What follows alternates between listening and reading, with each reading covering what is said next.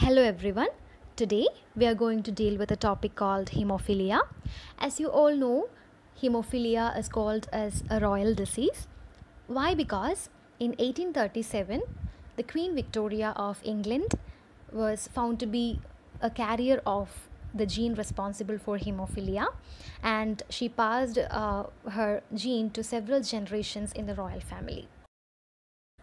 So let's check it out. Uh, the definition hemophilia is a coagulation disorder, that is, the disorder which is related to clotting uh, arising from a genetic defect of X chromosome. So it is a sex linked recessive disorder.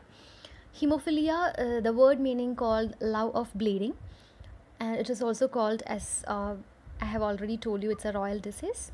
So in this disease, the blood fails to clot normally because of the deficiency or abnormality of one of the clotting factors. As we all know that there are 13 clotting factors in the body and uh, each and every clotting factor is very much important for preventing the blood loss if there is an injury. So you can see the blood vessel the lumen of the blood vessel transection of the transverse section of the blood vessels in a healthy and as well as hemophilia patient so, in a healthy patient, after an injury, the hemorrhage is often sealed by the clot.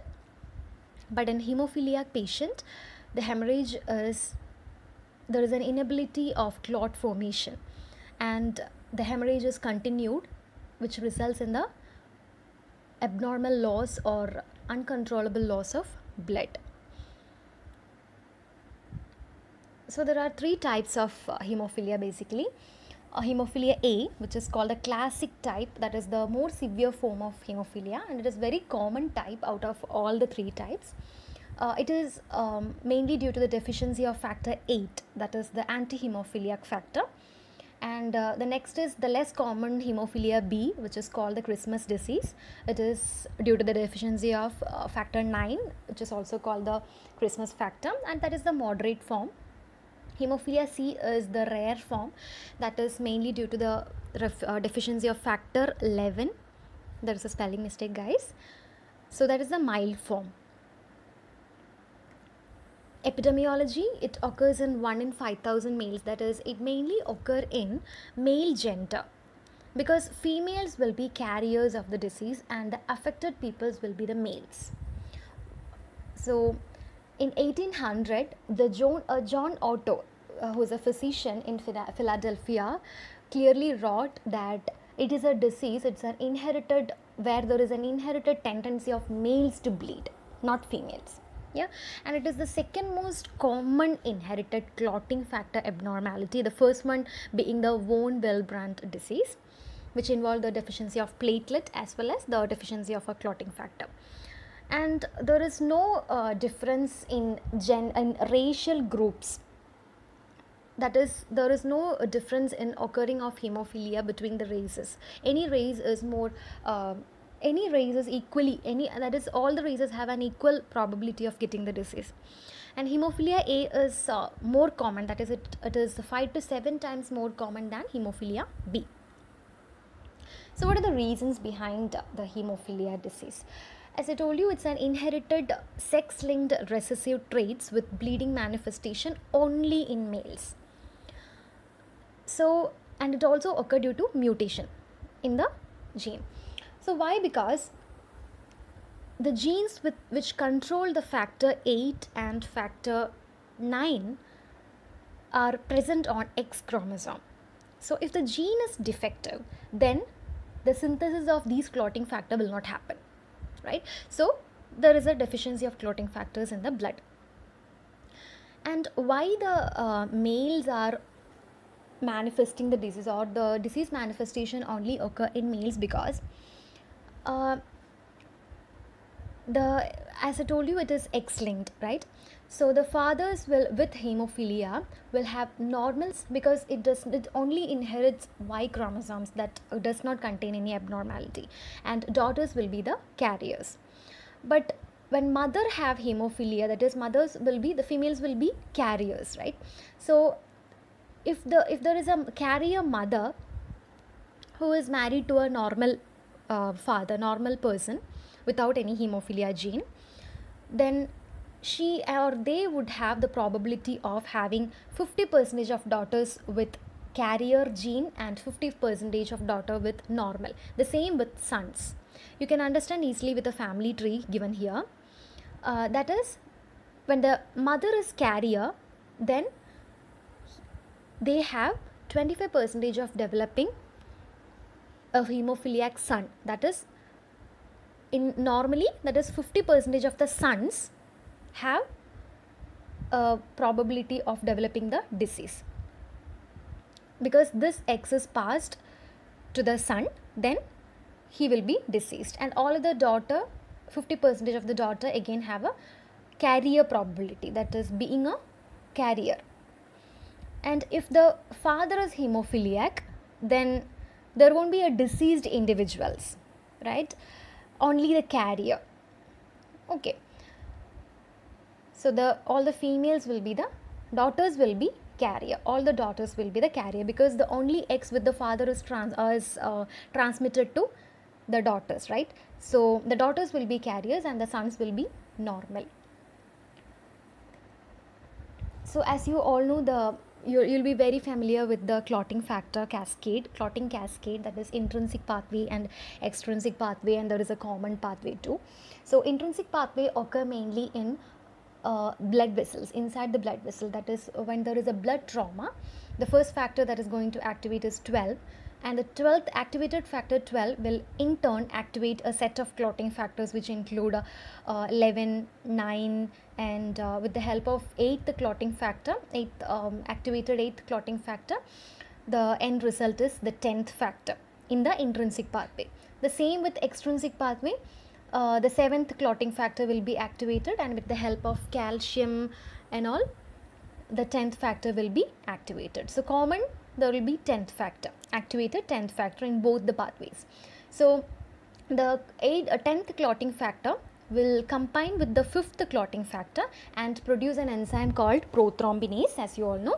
And this prothrombinase will help in conversion of prothrombin into thrombin okay so this thrombin will convert again a fibrinogen inactive fibrinogen to active fibrin the fibrin will be stabilized with the 13th factor called fibrin stabilizing factor and this is the normal clotting pathway. So if there is a deficiency of 8th factor or 9th factor then this pathway will be interrupted which causes the formation of weak clot or delayed fibrin formation right.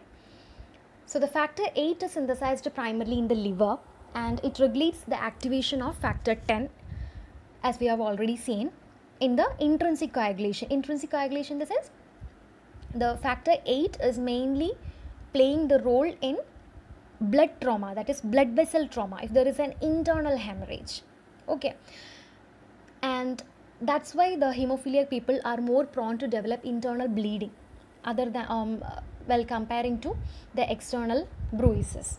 Okay? The normal hemostasis require 25 percentage of factor 8 activity. So um, most of the patient do have 25 percentage but those with 25 percentage factor 8 all that is very very very less frequently they develop bleeding.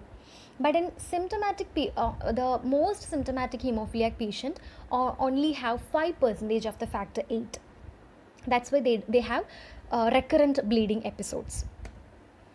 So pathogenesis in very simple manner we can explain like this. Whenever there is a blood trauma or whenever a blood vessel is injured then the blood vessel will constrict that activates the clotting factor. And while in normal healthy adults along with other substances clotting factor 8 causes a strong platelet plug to form. So that a strong platelet plug uh, combining with the fibrin that finally seals the injury and bleeding will come to an end but in hemophiliac patient, there is a lack of uh, clotting factor 8 so that a weak platelet plug is forming. So the fibrin clot is incomplete or delayed. That allows bleeding to continue. So that's all the pathophysiology. Going to the clinical features, what are all the things that a patient develop? Uh, mainly he developed a joint that is bleeding into the joints. That is um, the internal bleeding will be there in the synovial joints that causes uh, very uh, crucial pain and swelling. And bleeding will be there in muscles also. Yeah? And frequent nosebleeds will be there. That is called the abnormal bleeding after injury or surgery. Blood is found in the urine that is due to the bladder or kidney bleeding and also easy bruising will be there signs and symptoms the external bleeding may include bleeding in the mouth from a cut or a bite or from cutting or losing a tooth. That is um, usually the dental extraction procedures uh, or a root canal surgery or anything in the uh, related to dental procedures that cause a bleeding from the pockets. Okay and the nose bleeds or the uh, epistaxis without any reason. Yeah and heavy bleeding from a minor cut and bleeding from a cut that resumes or uh, that comes again after stopping for a short time. And internal bleeding that's very serious actually bleeding uh, in the kidneys or bladder that causes appearance of blood in the urine and bleeding in the intestine or the stomach that causes blood in the stool that is called the melena and uh, bleeding into the large muscles of the body that causes large bruises uh, like ecchymosis like that and bleeding in the joints uh, usually at the beginning uh, the pe- people will not notice anything. Bleeding in the knees elbows or other joint is very common. Uh, but that cause actually the tightness at the first in the joint with no real pain or any visible signs of bleeding. But later but then later the joint become swollen hard to touch and very painful to bend. And bleeding in the brain that's also a very serious effect of hemophilia. The long lasting painful headaches or the neck pain or nuchal rigidity um, is the external symptoms that patient feel. And sudden weakness or clumsiness of the arms uh, or legs or problems while walking and uh, double vision seeing the things double or convulsion or fits